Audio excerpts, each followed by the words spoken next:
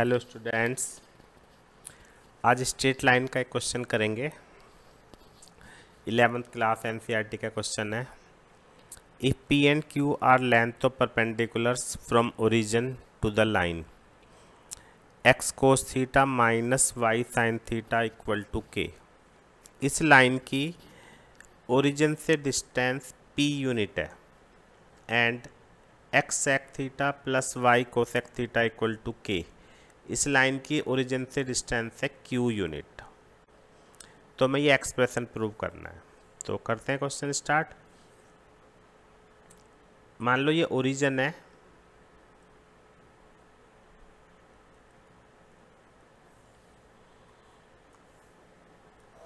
तो एक लाइन हमने ये ले ली, जिसकी इक्वेशन है x cos theta minus y sin theta minus k cos two theta equal to zero.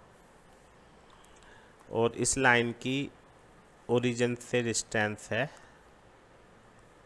P units. ये डिस्टेंस कितनी है? पी। ऐसे ही एक दूसरी लाइन है,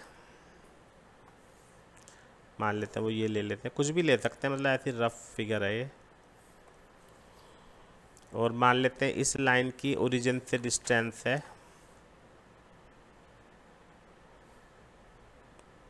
पी यूनिट क्यू ये क्यू यूनिट से और इसकी इक्वेशन क्या है? X sec theta y cosec theta minus k equal to zero तो हम क्या करना होगा, हमें यहाँ पे पी एंड क्यू निकालने हैं। ठीक है? तो पी और क्यू कैसे निकलेंगे? उसके लिए हमें फॉर्मूला याद करना पड़ेगा perpendicular distance from origin origin से परपेंडिकुलर डिस्टेंस कितनी होती है?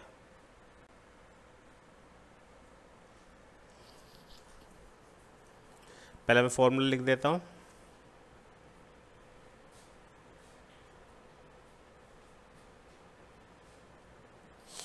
यहाँ फॉर्मूला लिख देते हैं, किसी पॉइंट की किसी लाइन से डिस्टेंस अगर हमारे पास पॉइंट है एक्स वन वाई वन और लाइन है a x plus b y plus c equal to zero तो इस, ये वाली डिस्टेंस कितनी होगी?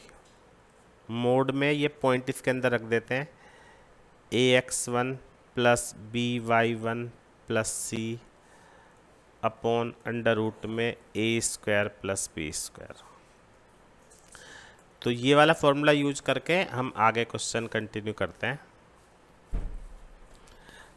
तो we have p equal to ये ओरिजिन से डिस्टेंस है इस लाइन की, ये वाला फॉर्मूला अप्लाई करते हैं मॉडुलस ऑफ़ एक्स और वाई की जगह ज़ीरो पुट करेंगे. तो zero minus zero minus k cos two theta upon में a square plus b square. A मतलब एक्स का कोफिशेंट, बी मतलब वाई का कोफिशेंट। ये होता वन। तो यहाँ से हमें पी की वैल्यू मिल गई k cos two theta upon one. And ऐसे अब क्यू निकालते हैं। ये साइड में हमने रीजन दे दिया है। तो क्यू के लिए इसके अंदर एक्स और वाई की जगह ज़ीरो पुट करेंगे। अंडर रूट में sec square plus cosec square easy question है क्योंकि हमें देखो पी और क्यू ओरिजिन से डिस्टेंस दे रखी है। तो हमने पी और क्यू की वैल्यू यहाँ से निकाल के फिर हम इसके अंदर पुट कर देंगे। तो क्यू कितना आ गया? के अपॉन इसको साइन कोस में चेंज कर लेते हैं।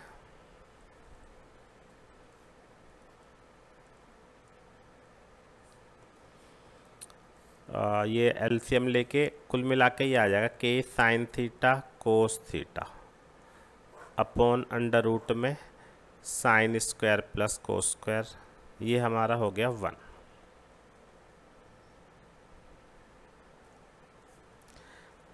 तो हमने पी और क्यू दोनों की वैल्यू निकाल ली।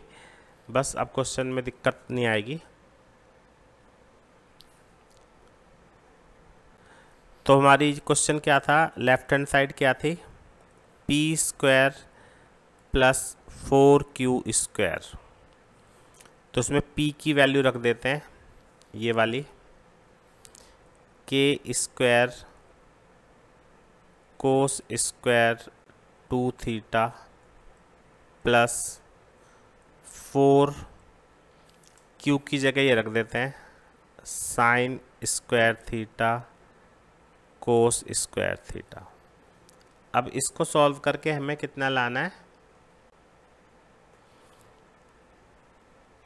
इसको सॉल्व करके हमें लाना है के स्क्वायर। बहुत आराम से आएगा।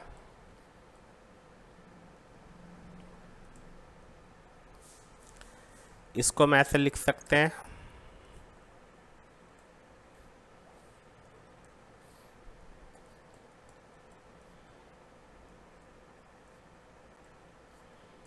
टू साइन ए को से होता है साइन टू ए तो ये हो गया साइन टू ए का स्क्वायर।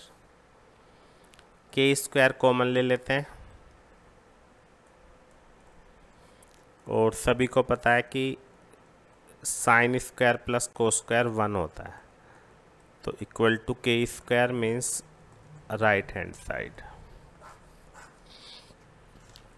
तो इस तरह से हमने प्रूव कर दिया p square plus four q square equal to k square इन दोनों लाइन की ओरिजिन से डिस्टेंस गिवन थी पी और क्यू वो निकाल के by using distance formula from a point तो उम्मीद है सबको समझ में आ गया होगा। Thank you